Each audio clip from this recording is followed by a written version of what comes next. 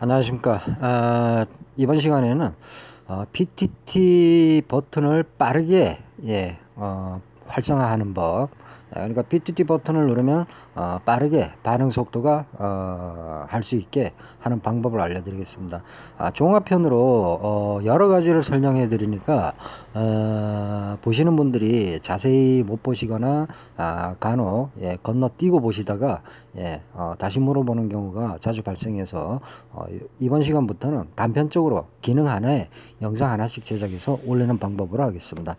아, 일단은 사진을 보여드릴게요. 예, 이렇게 SCP-860을 버튼을 누르면은 어, 0.3초 정도 delay가 생기는데 아, 그게 아니라 누르면 바로 신호가 떨어져서 어, 말을 할 수 있는 상황으로 예, 환경으로 만들어주는 기능을 설명을 해드리겠습니다. 자 일단 젤로 어플로 가셨어요. 예, 여기서 설정에 가셨어요. 오디오. 예, 여기에 지금 체크 세 가지가 있는데 아, 중간에 apply 뭐 audio mode only 뭐 이래 되어 있는데요. 이게 블루투스 전략 모드를 체크를 해주는 겁니다. 아, 요거를 지금 체크되어 있는 상태는 뭐냐면은 어, 블루투스 기기를 어, 배터리를 전략을 해주겠다. 그러니까 오래 쓰게 해주겠다는 내용이고요. 어, 풀어주시면은 어, 배터리는 좀 잡아먹더라도 어, PTT 기능을 어, 빠르게 어, 할수 있게 하겠다. 그 내용입니다.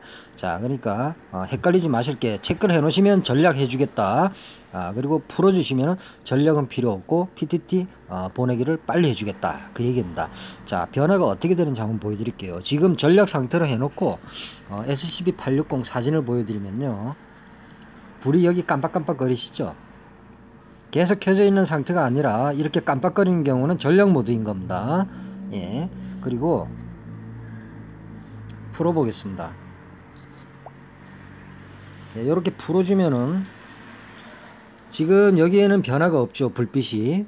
자, 불빛이 변화가 없는 게 왜 그러냐면 껐다 켜줘야 된다. 껐다 켜줘야지 어, 설정이 제대로 먹습니다. 자, 다시 켜주고요.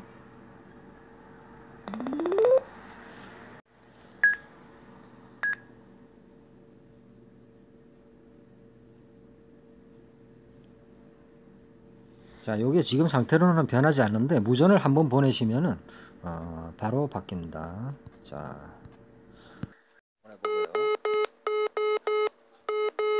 아 여기 블루투스 설정이 안 되어 있군요 네. 자 보겠습니다. 자 불이 이렇게 계속 켜져 있죠? 깜빡거리지 않고.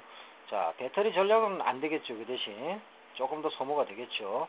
그 대신 항상 예, PTT 버튼을 받아들일 준비가 되어 있기 때문에 누르면 즉각적으로 어, PTT 버튼에 의해서 예, 무전이 바로 날아가는 어, 그런 이제 현상을 만들어 줍니다.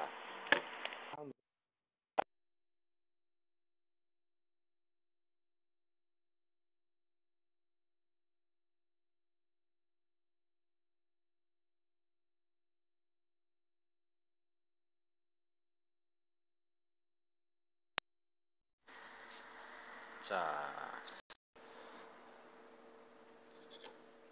자 다시 깜빡거리죠.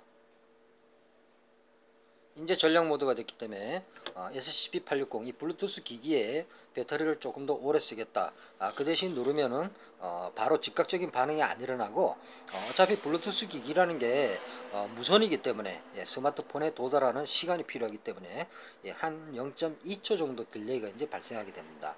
아 그래서 무전을 자주 하시거나 급하게 어, 용물을 빠르게 전달하고 싶으신 분들은 어, 전략 모드를 하지 마시고 아까 설정란에서 체크를 풀어주시 누르시고 예, 항시 연결 모드로 바꿔 놓으셔야 된다. 자 내가 지금 전력 모드인지 항시 연결 모드인지 모르겠다 그러면은 이 불빛을 보시면은 바로 아실 수가 있습니다. 깜빡거리면 전력 모드고 항상 켜져 있으면은 항시 대기 모드입니다. 자 다시 항시 대기 모드로 다시 한번 바꿔 드릴게요.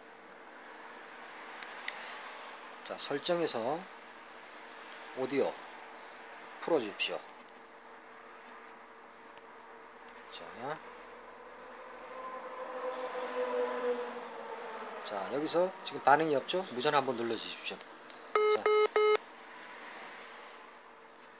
자 블루투스가 안 돼 있죠? 블루투스가 풀어졌네요